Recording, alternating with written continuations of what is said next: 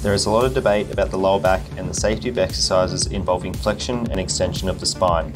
At the end of the day though, it's not so much about whether a rounded or extended back position is good or bad, but rather about your ability to control whatever position you are using. One thing is for certain, if you lose control of your lumbar spine and the muscles involved, you will get hurt at some stage. For rounded back or extended back exercises, it all comes down to your level of practice and proficiency in strengthening those positions, which should be done progressively over time, like with any other body part and exercise. Whether that be progression in weight, leverage, or other forms of loading, or even progressions in speed and range of motion. The spine is adaptable and it's best not to think of lumbar flexion or extension as good or bad, but rather how good or bad we are in certain positions. With that said, the more extreme the range of motion, the more difficult it will be.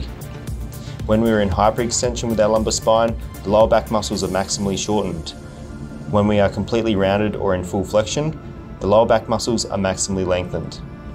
You can be very strong in neutral or even slight flexion or extension, but it's very hard to be really strong at extreme ranges of motion. For instance, you can ensure your spine against injury during lighter flexion-based movements by training your lower back full flexion with Jefferson curls, but you're not going to be able to use heavy loads or get a deadlift personal record in this position safely.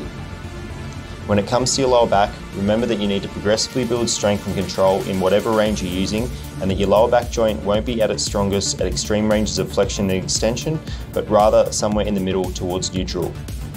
Whatever lower back position you're training, the most important thing to do is apply progressive overload gradually and systematically. Do this and you'll develop a stronger and more resilient lower back without the fear of injury. See the description below for more on how to strengthen your lower back and execute common exercises for this body part correctly.